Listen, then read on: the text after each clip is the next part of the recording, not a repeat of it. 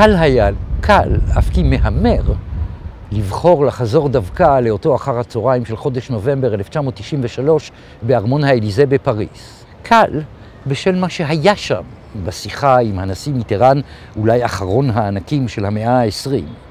ואולי עוד יותר מכך, בשל מה שלא נאמר שם. Israël appartient à l'Europe euh, à cause de l'histoire ou est-ce que c'est plutôt la périphérie de l'Europe Comment, Quel est votre dessin euh, géophilosophique à cet égard L'idée d'insérer Israël dans une construction européenne paraît euh, évidemment assez ésotérique. וכך, באלגנטיות נדרשת, עם רמזים דקים כפסיק, גולשת השיחה למה שיתחיל להיות חצי נאמר, או כלל לא נאמר. צרפת של שיתוף הפעולה עם הכובש הנאצי בשנות ה-40. Un moment de détresse morale, de, de destruction physique, de haine raciale, et, et tout ça sous les, sous les regards d'un occupant ennemi, euh, lui-même engagé dans la triste aventure nazie. Tout cela, en effet, euh, mais c'était aussi la France. Vichy était aussi la Vous voulez France. reprendre cette discussion qui a lieu tous les jours en France euh, au nom d'Israël? Non, je vous pose la question, Monsieur le Président. Oui, parce que c'est pas. Si vous voulez, nous sommes en train de mélanger deux types de conversation quand même. Parce que ça, c'est un problème interne. Bon, enfin, euh, oui, c'est un problème interne. Pas un problème extérieur. Et le, j'entends bien que la responsabilité de la France n'est pas engagée dans cette abominable aventure. מי שמתמרן באופן חשוד בנושאי זיכרון, אמת היסטורית, הגירות, זהות, אחריות לאומית, משתף בעצם פעולה פסיבית במה שהתרחש בצרפת ובאירופה ב-20 ויותר השנים שאחר כך. במעין סמליות מוזרה של לוחות זמנים, שעות ספורות לאחר שפפון הורשע שלשום בבורדו, הורשע לפן בפריס באשמת התגרות והתפרעות אלימה במהלך הסיור הזה שלפני הבחירות באביב שעבר. מעבר ללפן התוקפני, הגזעני, האנטישמי, המסוכן והפיקח, הבעיה היא כמובן הבוחרים שלו. כ-15 אחוזים, כחמישה מיליון איש בצרפת. התפרצויות של ימין קיצוני, ניאו-פשיזם ונאו-ניאו-פשיזם, טרור מכל מיני סוגים.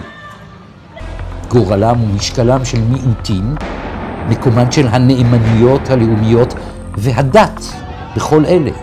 בעיקר כמובן הדת המוסלמית. L'islam n'est pas respecté. L'islam respecte tout le monde, mais lui n'est jamais respecté. Il est toujours vu d'un œil très mauvais. très- מי שמחטט היטב בחנויות הספרים והקלטות, למשל כאן, בצפון פריס, ימצא ספרות אנטישמית מובהקת והלהטות לשנאה מכל מיני סוגים. בצרפת, מכל מקום, נמשך הוויכוח בין אלה האומרים שהרפובליקה חזקה ומבוגרת מספיק בכדי לנהוג בנאורות במיעוט המוסלמי שלה, לבין אלה הקוראים יותר ויותר בקול גדול, זהירות, סכנה של ממש. התמונות האלה צולמו הבוקר בעיירת טראפ, פרבר בורגני למדי סמוך לפריז. ואלו הם הקירות השרופים של בית הכנסת שהוצת שם לפנות בוקר.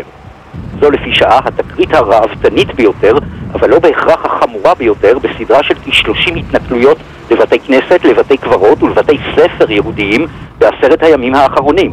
וכל זאת באירופה שהאמינה בתמימות שנפילת החומה בברלין וחזרתן של מזרח ומרכז היבשת לחיק מערב אירופה, זו העשירה, הדמוקרטית, האגואיסטית, כל זה התרחש בקלות יחסית, כמעט בנועם. ישנם דיווחים על שלוש דיוויזיות שריון שעושות דרכן, דרכן לכיוון מוסקבה.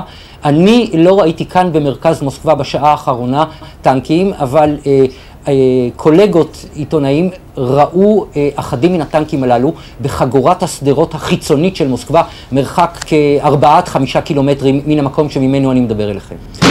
וכפי שגם אתם דיווחתם, הטלוויזיה עצמה חידשה את שידוריה. כן, לאחר אנחנו רואים שלוש עכשיו- וחצי, ארבע שעות של אה, ניתוק אוויר, שהיה קרוב לוודאי ניתוק משדר, יותר מאשר ביטוי של השתלטות בפועל על האולפנים. על, על רקע דבריך אנו רואים כעת טורי שריון נעים לכיוון מרכז הטלוויזיה ושומעים את היריות שם. יש כמובן בקובץ הוידאו הלא ויראליים הללו משהו, אבל משהו חשוב, שעניינו הרבע האחרון של המאה ה-20 הוא קצת מעבר. אבל מבחינתי אישית, נדמה לי היום שתפקיד הגשר שלי, או אם תרצו, הגישרון שלי בין שתי הגדות של הים התיכון, לא השתנה מהותית. איך קראו לזה פעם בלוח המשדרים? מבט לחדשות. יואב טוקר, מפריס.